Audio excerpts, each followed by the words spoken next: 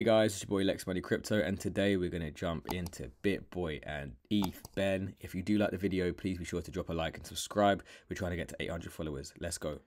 Alright guys, new news six hours ago from BitBoy. I have completely separated from ETH Ben. We will no longer be working together in any capacity. Good luck to him on all accounts, but going forward, Ben will have no association to any project related to him. He also no longer holds any Ben token. Right, so it's big news, you know. This BitBoy, BitBoy is basically bought Ben off ETH Ben, probably for pennies. Um, restructured the company as a whole, restructured everything, the branding, the logo, and now he has kicked Ben to the curb. Or whatever his name is, because as we know, his name actually isn't Ben, as he said in many tweets. Punt, but I think loyal and psyop guys are gonna be. Well, I don't know. I don't think it, I don't think it's to be too good for them. I, would expect maybe a little bit of a, a, dumpy dump to be happening today, even if it's just for a little while. Um, you know, you will see here they've asked, was the loyal LP sent to Ben Eth in exchange for the Ben he held? Ben replied yes and then Jake, big name in the space.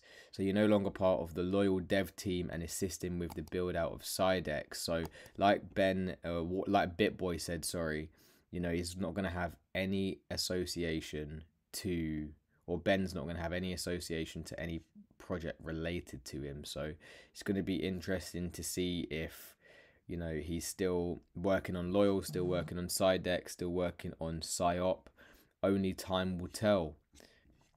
I mean, one thing that I can say is that BitBoy has absolutely pumped up Ben.eth or Ben underscore ETH's uh, account over the past month with co-signing him, co-signing the project, and you know basically buying Ben off him as well. So it's going to be very very interesting to see what does happen to Ben underscore ETH, and it'll be interesting to see if we actually find out who the fuck Ben underscore ETH actually is because he's saying his name isn't Ben. He's not doxing himself at all or anything like that. He just be he could be anyone. He could be BitBoy. He could be he could be anyone.